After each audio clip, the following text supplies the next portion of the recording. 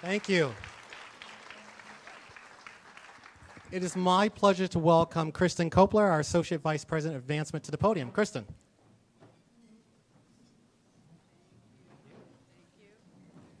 Thank you, Tom, and thank you, PSU Green Notes and the Jazz Ensemble.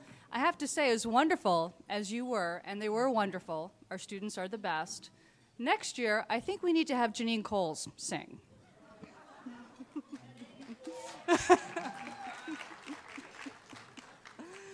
so, just very quickly, my name is Kristen Coppola. I'm the Associate Vice President for University Development. It is absolutely my pleasure to welcome you all here tonight. I have to say, when you work at a university, you go to a lot of events. A lot of events. I think the president would agree with me on this. And I think he would also agree with me when I say that this is by far our favorite event because it's about the students and it's about the donors who make their dreams possible. So, a big round of applause to you all for being here tonight.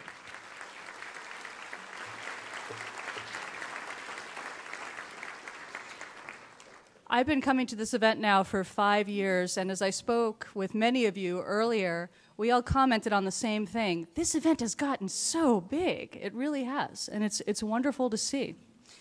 And the other thing that struck me as I moved around the room was how many of the students were meeting their scholarship donors for the first time and the impact that that had on them. That they knew someone else believed in them and believed that they could get through and was willing to support their effort.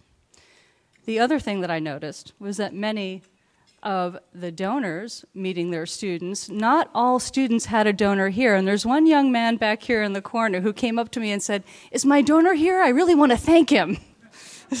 so if you, if you are a donor without a student, looking for a student, Neil, would you stand up and say hello?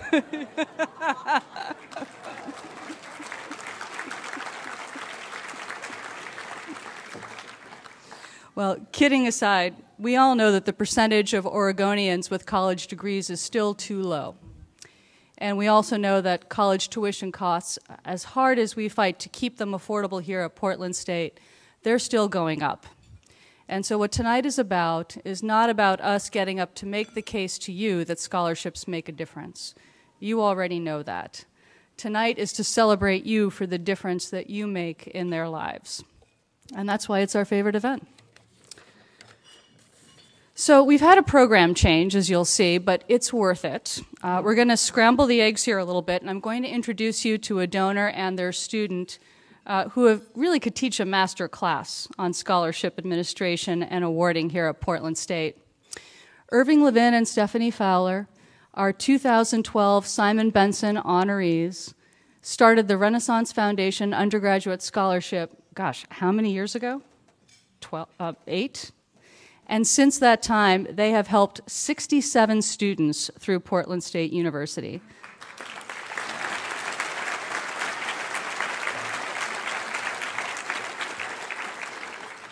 The other thing worth mentioning, as they pointed out to me this afternoon, is the completion rate for their students is unbelievably high.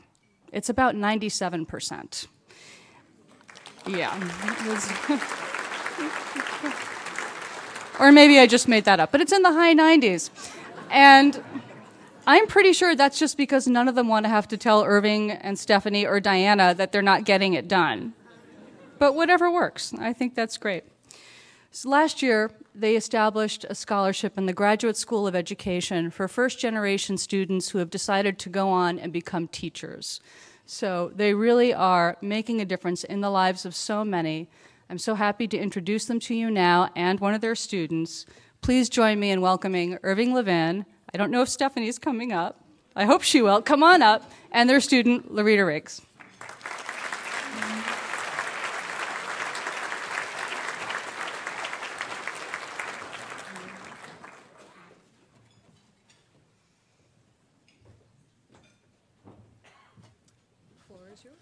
Thank you. Uh, you said most of the stuff I was going to say. Uh, we've been coming to this event for eight years, and I think the first time it was in a large conference room. It's, uh, it, just seems like everything else in, in general about uh, Portland State, it just gets bigger and better every year. And this is really wonderful. It really is a festival. Uh, when Stephanie and I uh, were thinking um, about how to invest in education, uh, because we, we've always believed that education is a real engine for social mobility, we wanted to do take a particular approach, uh, helping people without the financial means to go to try and make the difference. And to Portland State, State's great credit, they helped us craft a, a program so that we could achieve that goal. And over the last eight years, we've uh, supported and gotten to know some absolutely remarkable people. And some of those remarkable people are here. Can everybody uh, with our scholarship please stand?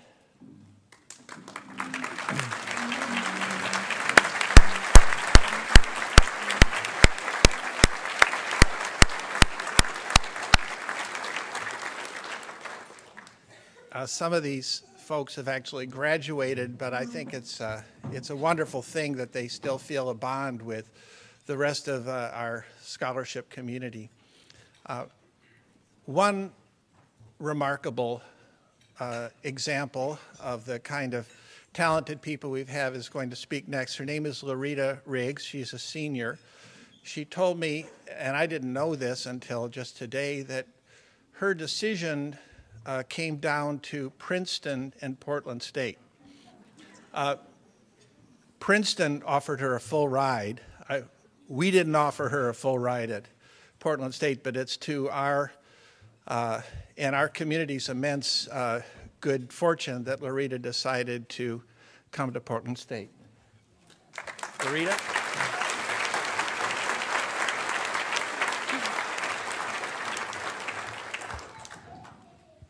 Yate Shikedo Shidene. Good evening, family and friends. Um, so, growing up, my family hauled water and wood because we didn't have running water or electricity. Productivity for our family meant always being physically active, um, whether it was chopping wood or tending to our horses or cleaning around our house. Um, and throughout high school, I did most of my homework in a bathroom with um, with a flashlight when my family went to sleep, mostly because I didn't want them to worry. And re- reflecting upon those experiences, I remember above all having the choice to go to college, even though none of my family had that choice before.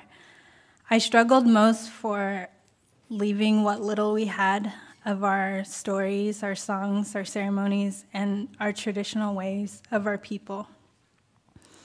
As the first in my entire family to leave the reservation, I asked my grandfather what he thought of this. In our Diné language, he said, I was carrying a lighted torch of fire through this canyon, through an unknown place for our people to follow.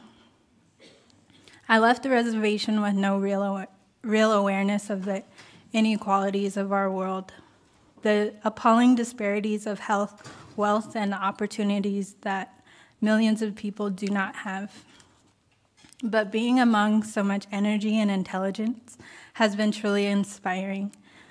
College has been exciting, intimidating, and sometimes discouraging, but it has always been challenging in a good way.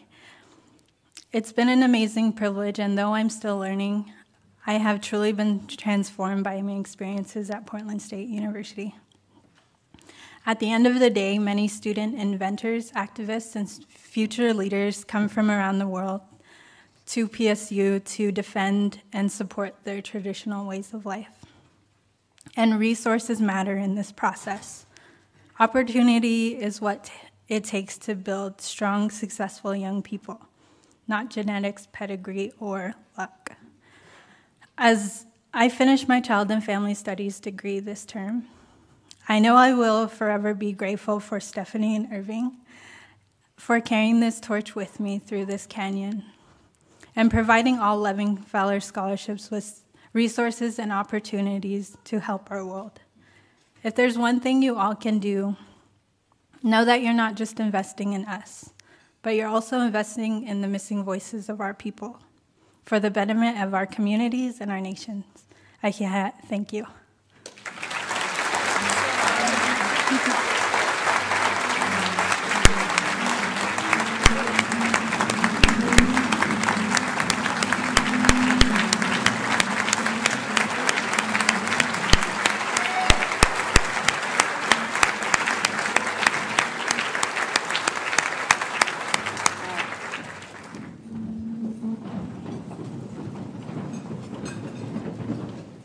Larita. Irving, Stephanie, Diana, we were talking earlier today about the kinds of students you want to reach with your scholarships, and you said there's something about the content of the character, and we know it when we see it, and I think we just saw it. And I think we have a lot of students that have remarkable stories like that. So, thank you. It's now my pleasure to introduce our president, Wim Wiewel who has a bold strategy for an urban serving research university and a strong commitment to increasing scholarships for students. Please join me in welcoming President Wiewel. Okay, it's up to you. Well, thank you, Kristen, for uh, you know changing the sequence of the program so I could follow Larita. I think I'll just go home now. that was wonderful and inspiring. Uh, thank you so much for being here and for sharing your story just in such a brief way, but so powerfully with all of us. And of course, thanks to you, Stephanie and Irving. But thanks to all of you, because I know that uh, we have many stories like that in this room. The details will vary for everybody, but there are many stories like that. And I think that's the very nature of Portland State that it makes opportunity possible, it makes excellence possible. It's through the work of you. And even though we are so proud of having so many of you here tonight, and so many more than before, we also still know that there aren't far, there aren't enough of us yet. There aren't enough of us yet we still have so much more to do to reach all the Laritas and all her peers uh, throughout this state, never mind this country, throughout this state, and to give them the opportunity that if they get it, they can take advantage of in such a glorious way. So we have this event to, to thank you. Uh, but as, as Kristen said, you don't need to be convinced of the importance. But what you do need, what all of us need, is to continue to convince others, to continue to reach out so we can build this community ever larger and more powerful so that this room will definitely be too small and so that we really will need that arena at the Stott Center to house all of us. That's just a little plug on the side. It's not just about scholarships, right?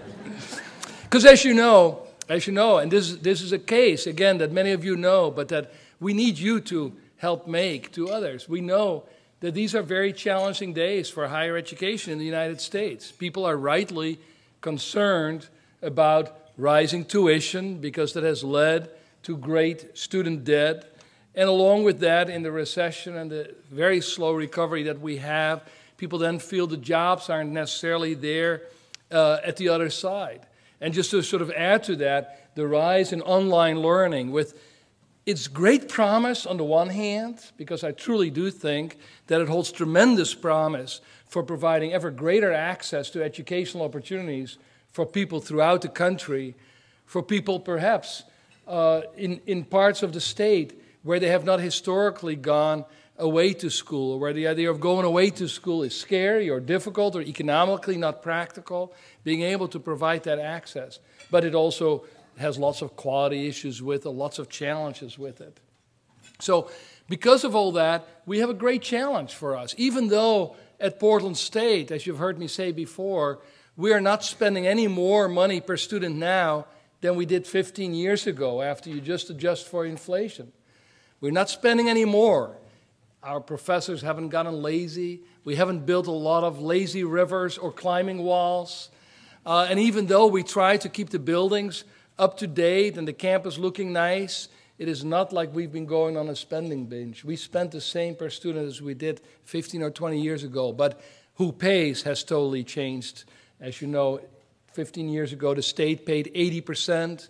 Now the state pays 20% of that cost. And the students went from going from paying 20% to paying 70%. And that missing 10%, for those of you who are mathematicians or economists, we make up on volume. we get it from philanthropy. We get it from a lot of other sources. We get it from some out of state students. But it poses a tremendous challenge. And we all know it matters because we know that a college degree, ever more, is the key to future success. The college graduates earn more money, but more importantly, it's only, I think, through a college education on the whole that people can really, truly, fully develop their own potential as a human being and take their place as a citizen of a democratic society. And, you know, and this is something that Thomas Jefferson already said over 200 years ago, and it's a lesson that we continue to forget when people start questioning well, does everybody really need a college education? Well, they may not quite need a college education just to have the job. But people need a chance to explore knowledge, to explore the history of their own people and of this country, and to be able to learn, to think, and criticize and analyze if they're going to be intelligent citizens. And God knows we need more intelligent citizens. you know that Oregon has formalized this goal by saying that everybody in the state should have a high school degree, and then 40% should go on to get some post secondary education, and 40% should get a bachelor's degree or beyond. Um, right now, we're not anywhere close to that. We're only at about 30% with a college degree, and frankly, only 20% with some kind of post secondary education other than a college degree. And we frankly don't even graduate close to 100% of our people from high school. We're only at 70% or so. We have a long way to go, and PSU will play a key role in this because the population that we need to draw in are not the people who always used to go to college. They're not the children of the middle and upper middle class, the people who always knew how to find opportunity. They're the people who haven't been able to find opportunity, who are homebound in some way, or family bound, or community bound, who have to work while they're going to school, have a family themselves to take care of. And it's only through the help that you provide that we can get people here.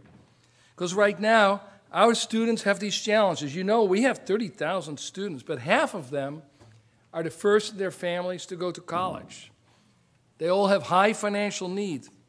57% receive some aid, but almost all of those still have unmet need after they get the federal Pell Grant and the state opportunity grant and whatever institutional aid and scholarship help we can give. As a result, they're working hard, and frankly, they're working too hard. Half of our freshmen work 20 hours or more per week in a job. 30% of the seniors work more. That has an effect on how much time and energy you can devote to your studies. We need to reduce it if we're going to have students succeed. And as you know, our students graduate with debt. About two thirds of our students graduate with debt. The undergraduates have about $26,000. The graduates have about $36,000. We now know that these are numbers that are off putting to many people. You may well say, if you graduate and you find a good job, then $26,000 is not such a crazy number, and it is not. But if you're not sure whether you will ever graduate, because nobody in your family has ever gone to college, has never seen that that road actually worked and paid off, then that is a darn scary number. So we got to keep working on that, and it is your help that is so critical. We award $3 million in donor funded scholarships. And it's so hard to say this the right way because we are so thankful to all of you. But at the same time, it is still such a small number given the level of need that we have. And it's not because of you that it's a small number, it's thanks to you that it's a big number. It's because of everybody else that we haven't been able to reach yet, that the number isn't big enough yet. We need to find far more. But today we celebrate. As you know, in the campaign, in our comprehensive campaign that we're going to start, scholarships are going to be a central part. But today we celebrate where we already are and how we've gotten there. You've already heard one set of stories. I'm now going to introduce two more of our wonderful donors and one of their students. So let me turn to Dr. Keren Brown Wilson and Dr. Michael DeShane, who are pioneers in the field of gerontology, who both earned their PhD from Portland State, who've been engaged in community based care since the 70s and op- operated the first assisted living project in Oregon. They've been generous donors. They established the Aging Matters Initiative, which connects our university capstone students to elders in Nicaragua. What better way than make that local global connection? Addressing housing and other needs of elders. And over 250 students and faculty from PSU have participated in, in that program. The DeShane Wilson Scholarship Program began in 2007, and it's a collaboration between Clackamas Community College and PSU, where people first complete two years at Clackamas and then transfer to PSU. And so far, we've graduated nine of those students, and we keep working at it. Please help me welcome Keren Brown Wilson and Michael DeShane.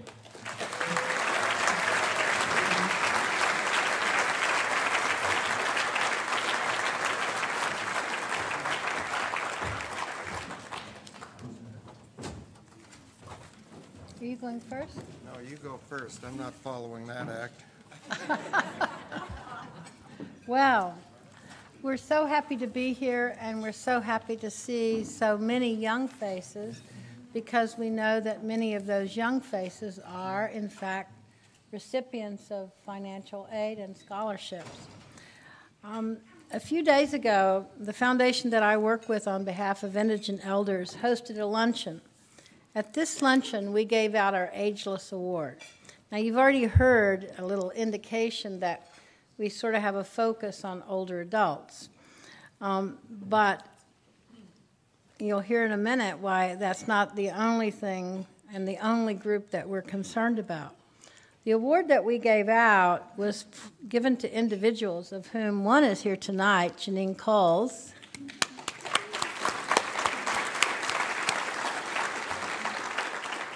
Who exemplify having lived a purposeful life.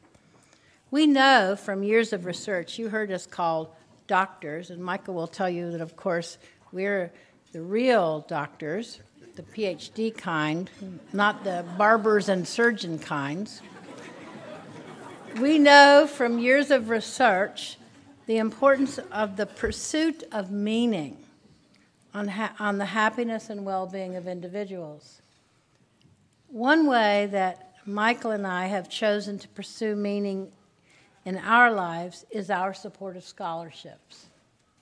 Selfishly, we support scholarships because we expect a good return on our investment.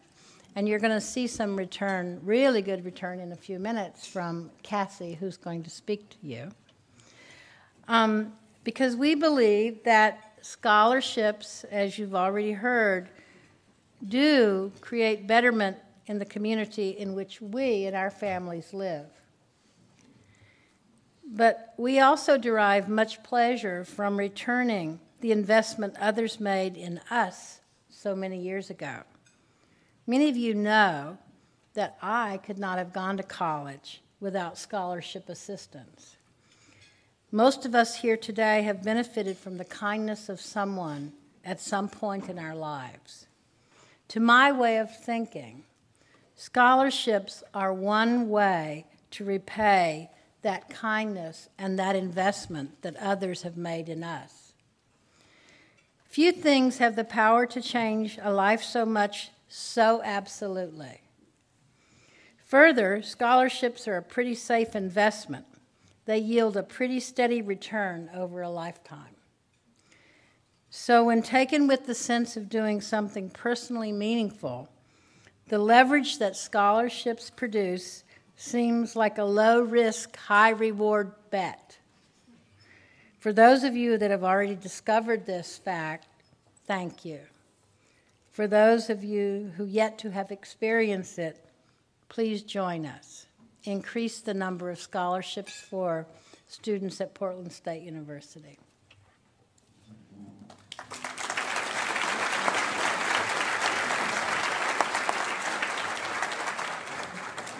Thank you, dear. That investment works well in marriages too, so I hear. I don't know whether to talk into this, that's the light, right?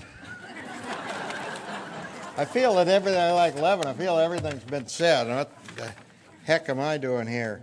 Uh, Well, I want to, every year, we, our scholarship kind of, we, we fund a little bit every year uh, to Clackamas and to PSU on, on the scholarship. And, and every year, Trish Hamilton calls me up and says, well, Trish Hamilton with the School of Urban Affairs, and kind of like the mother I should have had or something like that. but she's, she's half my age, so that wouldn't work. It? Uh, she calls me up and says, well, are we going to get checked before the end of, I, and I always tell her, well, I don't know. Uh, I got my eye on this Lamborghini. Uh, and she always talks me out of it. I think, why not a Lamborghini? Why shouldn't I get that little yellow one that's Countach or whatever they are? Um, well, there's a number of reasons probably why I shouldn't do that. First, Lamborghinis lose value over time. Once you buy it, drive it off the lot, it's not worth the $300,000. It's only worth $200,000. Scholarships grow in value over time. You invest in a scholarship, it only brings more and more to society and to the recipient. We, as Karen said, we invest in scholarships. We don't give scholarships. We invest in them. Second, Lamborghini may well endanger my life. Not to mention other drivers, pedestrians, their pets, and who knows, who knows what else may be there. But scholarships will almost certainly improve the lives of the recipients and their families.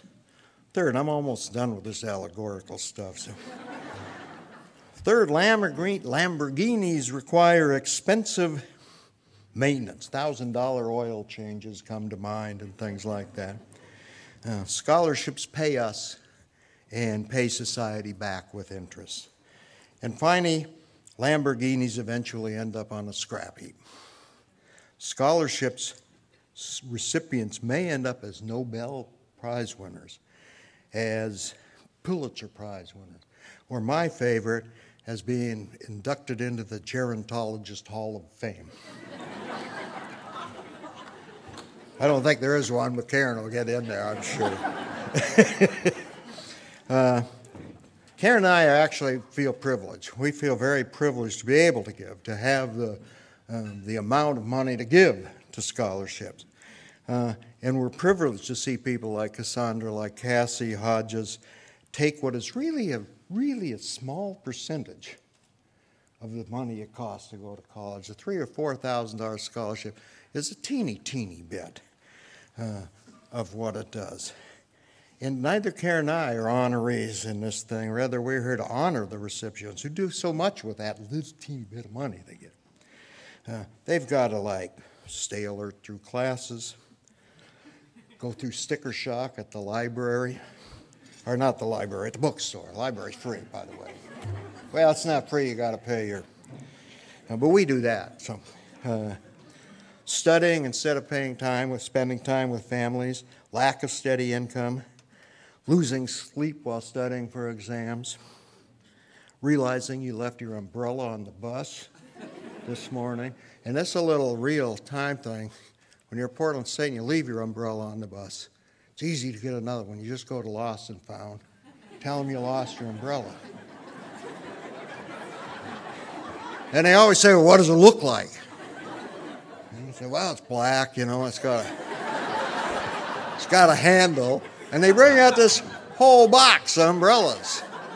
And you go through it till you find the nicest one. And then you can leave it on the bus the next time.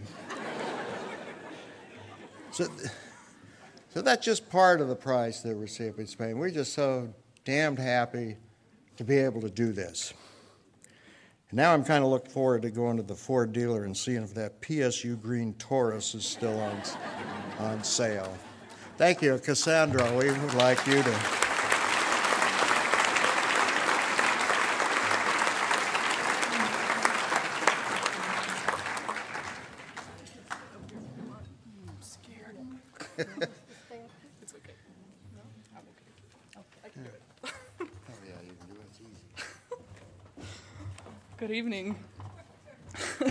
I just want to start out by saying thank you for allowing me this opportunity and for all of the encouragement I was given to come here and share a little bit about myself and my story with all of you here tonight. I'm a health science major here at PSU, working towards completing my prerequisites for occupational therapy. I graduated in Canby High School from 2009 with my honors diploma, and I received a small scholarship for Clackamas Community College during my senior year of high school. That really brought on the idea that college was a possibility for me. My parents weren't able to help me financially with school, and I didn't really want to go into debt straight after high school. That first scholarship gave me a small glimpse of the possibilities and endeavors that lay ahead of me. I started at Clackamas in the fall of 2009, and I worked diligently to keep my grades up and to keep a competitive GPA. I was awarded the Deshane Wilson Scholarship during my second year at CCC. At that time, I didn't realize the impact that the scholarship would have on my education and on my life as well. The Deshane Wilson Scholarship greatly broadened my opportunities for receiving a higher education. I'd planned on taking a break from my studies after getting my associate's degree to avoid the financial difficulties of dealing with student loans, but Keren and Michael provided me with a different pathway. I realized that higher education really was a possibility for me, all thanks to their generosity. I'm now the first person in my family to have attended a four year college, and in two months from now, I will be the first person to have graduated from college and received my bachelor's degree.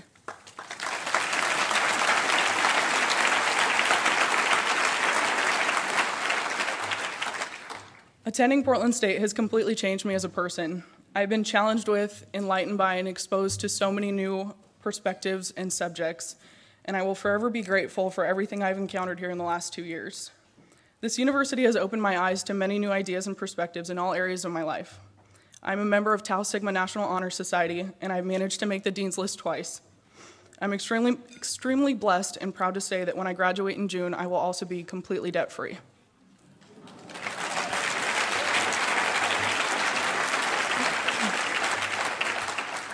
I hope to be given the opportunity in the near future to attend Pacific University, where I will study for my doctorate in, op- in, occupational therapy. I hope that one day I will be able to give back and change the lives of motivated students, just as Keren and Michael have so graciously done for me. And in closing, I would just like to take one more opportunity to thank you, Keren and Michael, for all you have done for me, and to thank all of the other scholarship donors as well for everything you have done as well. Thank you.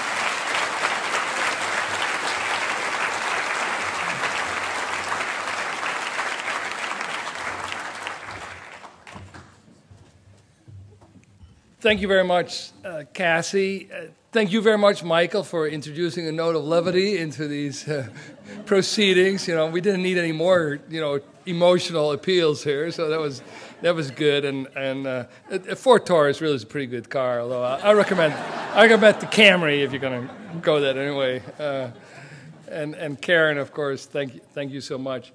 I, I want to uh, you know, call out two people that I, I, wanted to recognize at the beginning, but I, I, I couldn't because I had to talk about Larita's uh, talk. But I'm particularly proud to have uh, with us today uh, former Governor Barbara Roberts, uh, who has been a great supporter of Portland State. Um,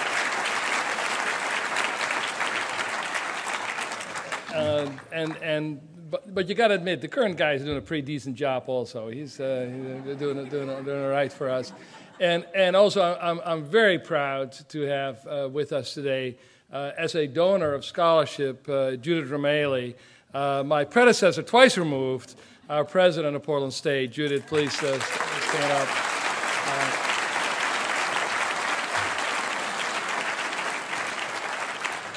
You know, there, there, there's nothing that, that says commitment than, than a president who, after having gone and, and done wonderful things elsewhere, comes back to, to Portland and, and reinvests in, in the institution and the community. So it's great to have you. So I want to just wrap up by, uh, again, thanking all of you for joining us to celebrate, because it really is a celebration by, by coming together, uh, listening to a few of each other's stories, spending time the students, with the donors, the donors uh, with your students. Uh, we hope that it's always inspiring and always makes you feel, like Keren and Michael said, that you are making an investment that is paying off in so many ways, both for you personally in the satisfaction, the pride, and knowing that it will pay off for our community, our city, our state, and our country So thank you all very much for joining us. Good night.